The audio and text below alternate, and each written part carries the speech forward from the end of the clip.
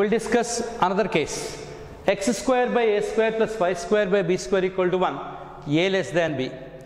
Now, previously it is horizontal ellipse, now it is a vertical ellipse. Why it is vertical ellipse? Let us see. You know that this is called major axis and this is called minor axis. So, length of minor axis is less than length of major axis. So, here clearly this is 2b and this is 2a. That's why 2a less than 2b means a less than b. That means the original horizontal ellipse is rotated by an angle of 90 degrees. So, we will write one by one. Center is equal to 0 comma 0. Foci. Previously it is plus or minus a comma 0.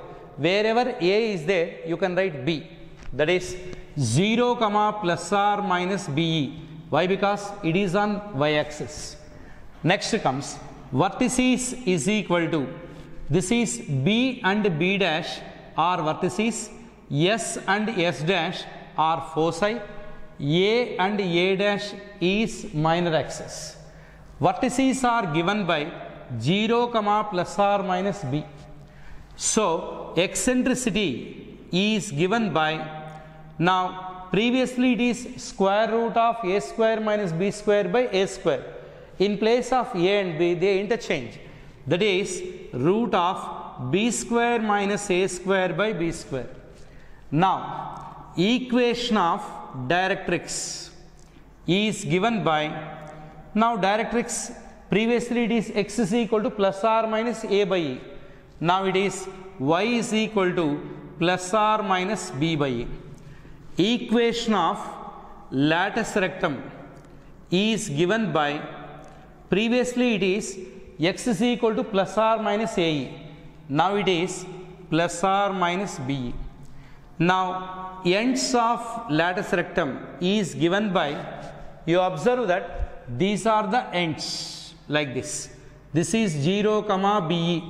So, on a horizontal line, x coordinates will change and y coordinates will be constant. That is BE, this is a square by b. This is plus or minus a square by b comma b. Next comes equation of directrix already we wrote, latus rectum we wrote, then equation of tangent at vertex is given by this is tangent at vertex. Now this is y is equal to b, y is equal to minus b, y is equal to plus or minus b.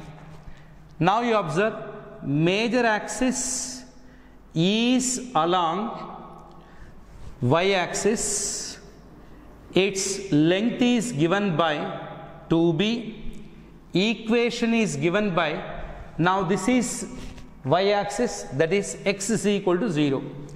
Now again minor axis is along x axis length is given by 2a equation is given by y is equal to 0.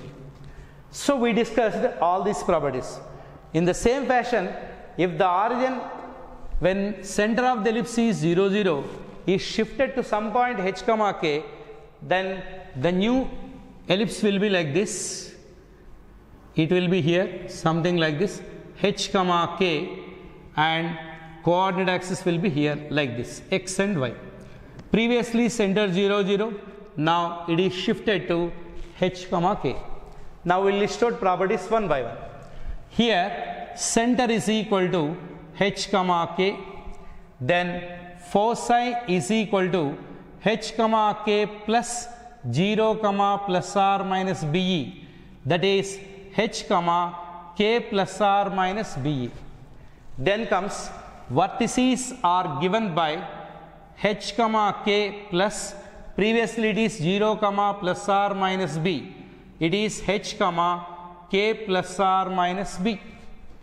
Now eccentricity will not change. Eccentricity is equal to square root of b square minus a square by a square. Now, now here one more point equation of directrix is given by y is equal to k plus r minus b by e. Here equation of latus rectum is given by y is equal to plus k plus r minus be. Then comes ends of latus rectum simply add h comma k. There is no need to write. Tangents at vertex are given by y is equal to k plus r minus b. Then major axis you observe that it is parallel to y axis. Major axis is parallel to y axis. Now length is 2b. Now here equation of major axis is given by now since it is x is equal to 0 it will become x is equal to h. Now minor axis is parallel to x axis length is given by 2a equation of minor axis is given by x is equal, y is equal to k. So, like this we see the difference between the two different forms of ellipse. Now you can see.